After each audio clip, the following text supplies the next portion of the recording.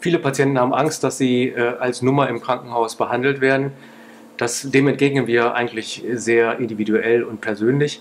Wir versuchen jeden Patienten persönlich anzusprechen durch den behandelnden Doktor, der möglichst auch über die ganze Zeit der gleiche bleibt. Aber viel wichtiger ist, er wird behandelt von einem Team. Das Team besteht nicht nur aus Doktoren, es sind die Schwestern auf Station, es ist im Bereich der Unfallchirurgie, Orthopädie auch der, die Physiotherapeutin, der Physiotherapeut, es ist der Sozialdienst, es ist die Seelsorge, die behandelnden Schwestern. All diese spielen eine Rolle dabei und versuchen sich als Team kompetent um den Patienten zu bemühen.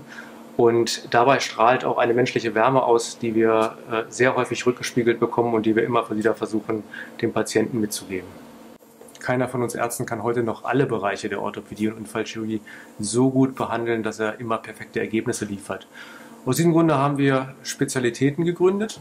Ich habe vier Oberärzte, beziehungsweise mit noch zusätzlich zwei Handchirurgen, die äh, erstens extrem empathisch sind, zum zweiten aber auch äh, sehr, sehr gute Spezialisten auf ihrem Gebiet sind. Mit denen zusammen versuchen wir eigentlich alle Bereiche für den Patienten perfekt abzubilden. Die technischen Untersuchungen und die technische Art der Operation ist für uns inzwischen nicht mehr wegzudenken. Die brauchen wir, um eine vernünftige und gute Qualität abzuliefern. Aber das soll den Patienten nicht erschrecken und ist auch nur ein ganz, ganz kleiner Teil der Behandlung. Patientensicherheit ist ja tatsächlich ein Thema der letzten Zeit, was uns auch seit meinem, seit meinem Beginn hier vor fünf Jahren intensiv beschäftigt.